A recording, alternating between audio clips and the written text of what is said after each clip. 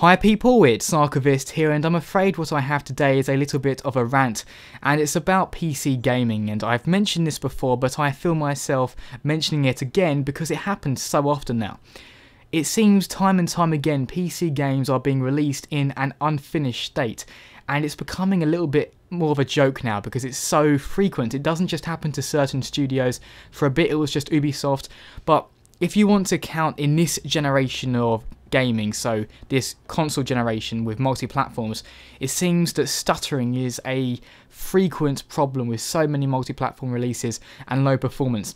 Because although we get to enjoy all these amazing graphics, and just the example I'm using here is Dying Light on the PC, and I have absolutely no problem with the graphics, no problem with the gameplay. I actually quite like the game. It's not my maybe most preferred genre, but I do enjoy the game for what it is but I did notice that it had stuttering, which, as I say, is a problem that occurs with so many PC games these days. It's crazy. And the thing I always do when this happens to me is I have to check is this what happens to more than me? Because you have to be careful, it could just be your setup. Uh, so I always go to the forums, I check multiple sources, make sure it's not just me.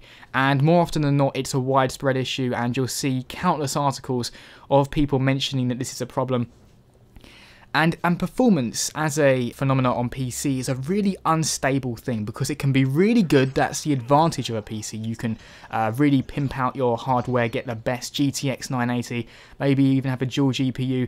But at the same time, because of these multi platform releases, sometimes the PC platform can get neglected and there can be major issues to completely detract from the advantages. And I'll be perfectly honest, there have been many times where I've regretted getting the PC version and have just wished that I had gone for the console version.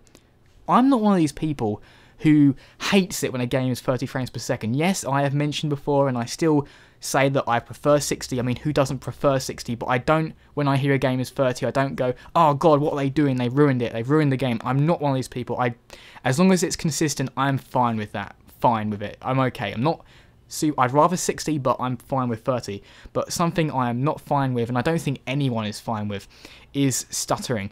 And also, I have to mention what stuttering is because so many people wonder what people mean by stuttering because people have different reasons for it. Some people just call 20 frames per second stuttering.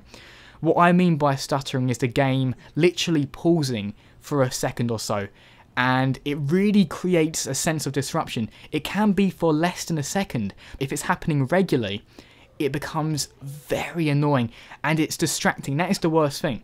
So even if you're not a performance whore, you, you know, you're not too fast if a game runs too well. You can play a game at 20 FPS, say, even if you can do that. Stuttering is just so distracting, you cannot look past it. It's so difficult. It's like screen tearing. It's it's another something like that. Although unlike screen tearing, there isn't a fix for it because VSync is the obvious fix. I wish there was a fix for it. And I do tend to wonder what causes this because the first time I noticed a game having this with as a major issue was Watch Dogs, and that came out in 2014. And I recently went back and played it to do a uh, did it live up to the hype review. And uh, what I noticed was that you could eliminate the major stuttering issue that still exists in the game, by the way, which is very annoying, by limiting it to 30 frames per second. That actually eliminated it apart from the occasional thing, but who cares about the occasional stutter? If it's every 15 minutes or even 10 minutes, to be honest, who cares? It's when it's every 30 seconds. That's annoying. But uh, I've, no I've noticed that when you play a game at 30 frames per second, when the console version is also 30 frames per second, that can eliminate it.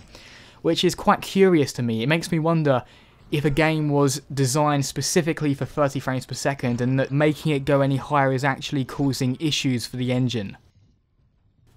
So what I've had to do in this game, because there is no official way of limiting the frame rate as far as I can tell, I can't find a limiter, I have just pushed the uh, graphics up to as high as my PC can deal with, which is a bit of a band-aid solution because as a result, you might even notice it here, it will occasionally drop down to 20 FPS, but that's quite rare. I know some people could say, why don't you go into the NVIDIA control panel and select adaptive VSync half refresh rate?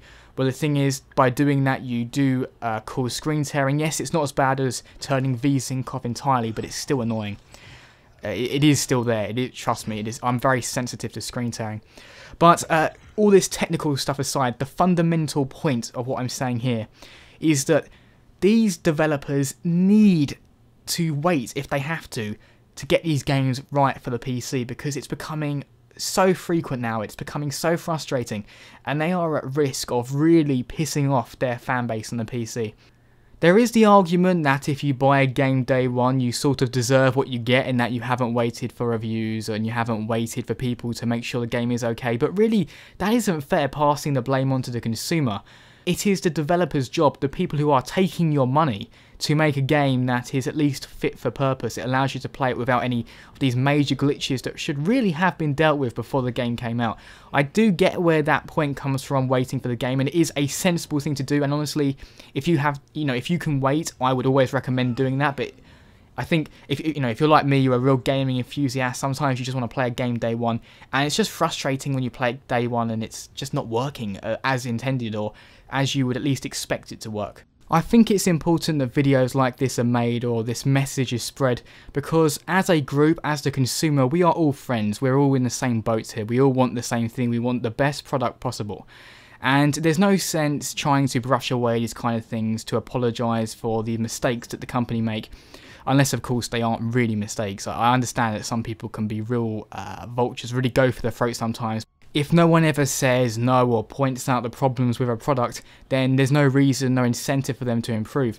I think the reason that Techland were good enough to bring out a patch so quickly to address some of these issues probably wasn't because they uh, noticed internally that there were issues with the game or they would have dealt with them you know before the game came out it's because they noticed that people were complaining or just uh, pointing out the issues with the game and noticed that they had to take action because the consumers were speaking out and it is an important thing to do it is better to complain than to be complacent so if you agree with me, if you're a PC gamer and you're getting annoyed at so many of these half-assed releases, do let me know in the comments. I'd be glad to hear that I'm not the only one getting annoyed by this. So uh, as always, people, thanks very much for watching and see you next time.